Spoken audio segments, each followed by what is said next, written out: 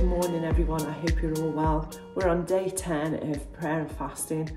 The theme of this time has been lift, and I hope that you've found value in all the devotions, and I hope that you've really found a great place in your prayer time with Jesus alongside your fasting, everything that you've been doing. So, yeah, from me, I want to say well done and keep going to the end of today. So, today we're looking at praising God.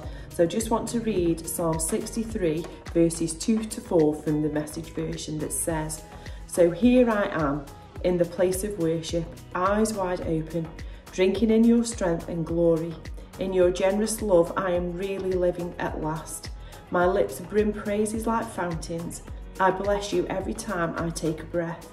My arms wave like banners of praise to you.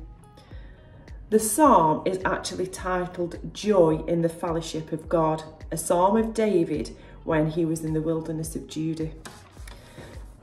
Jesus, we lift you today, whatever's going on in our lives. He loves you, He cares for you. He's got those everlasting arms right around you, wide open there, ready to receive you. So we praise Him and we thank Him for that. And I just thought it's such a beautiful, beautiful psalm that I wanted to pray it. So let's pray together. Lord, we lift you in this place of worship, our eyes wide open.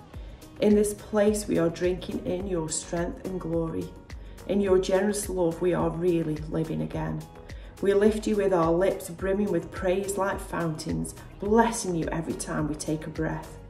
Our arms wave like banners as we praise you. Jesus, we lift you higher in our lives. Over all our circumstances, we bring this time of prayer and fasting to a close, believing that you hear, you know, and that you see.